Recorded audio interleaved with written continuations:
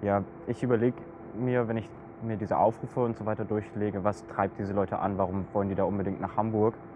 Und ähm, es ist ja nicht so, dass äh, es keine ähm, gerechtfertigte oder legitime Kritik an der Politik der, Politik der einzelnen äh, G20-Teilnehmer äh, gäbe.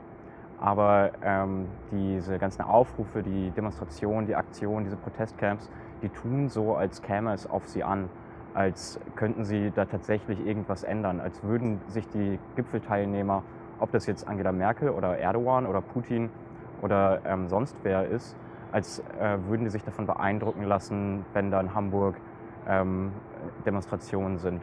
Da finde ich das auch immer ganz spannend, wenn dann über ähm, die Frage, wie viel äh, Radikalität, wie viel Gewalt ist notwendig, diskutiert wird. Das ist eine unfassbar narzisstische Debatte, weil selbst wenn äh, man die Stadt kurz und klein schlägt, selbst wenn alle Banken entglast werden, selbst wenn äh, die Polizeiautos brennen und man auf Barrikaden steht und sich auf der richtigen Seite wähnt, wird sich die Politik dadurch nicht ändern. Die Leute werden sich nicht beeindruckt fühlen von äh, Protest, äh, ganz egal, wie radikal der ausfällt.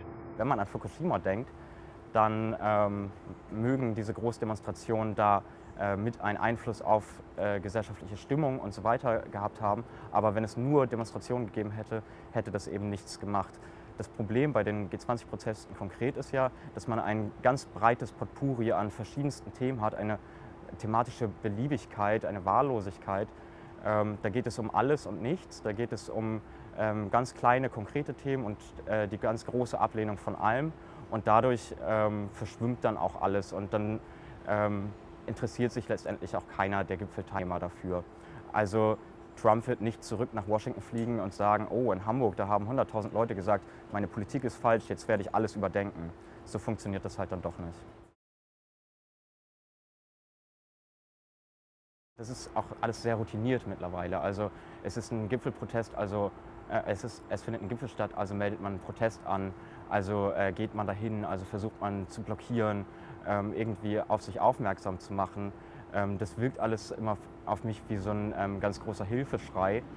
Ähm, und dann geht es aber auch, glaube ich, sehr viel darum, ähm, dass man ähm, mit anderen in Kontakt kommt, zeigt, dass man da ist. Also es geht sehr viel um äh, Gemeinschaft und wir, die vielen, ähm, sehen das alles so und so und ähm, dann, dann gehört es auch in gewissen Kreisen zum guten Ton, ähm, dann da zu sein und sich nicht hinterher fragen zu lassen, wo warst du denn ähm, bei der Demo.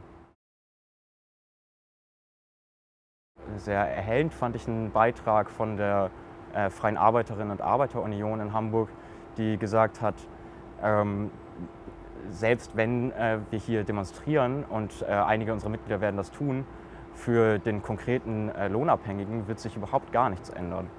So, und ähm, deshalb wäre das vielleicht ein Ansatz zu sagen, man ähm, konzentriert sich auf konkrete Kämpfe, wo man ähm, gegenüber Arbeitgebern ähm, mehr verlangt oder wo man äh, konkret irgendwo äh, was macht. Aber einfach nur zu sagen, wir sind hier und wir sehen alles grundsätzlich anders, das ähm, hat am Ende null Output, aber hat viel damit zu tun, dass man gerne ähm, auf der richtigen Seite steht, sich als äh, die moralische Instanz darstellt, dass man ähm, sagt, alles anders, aber ähm, nichts passiert so.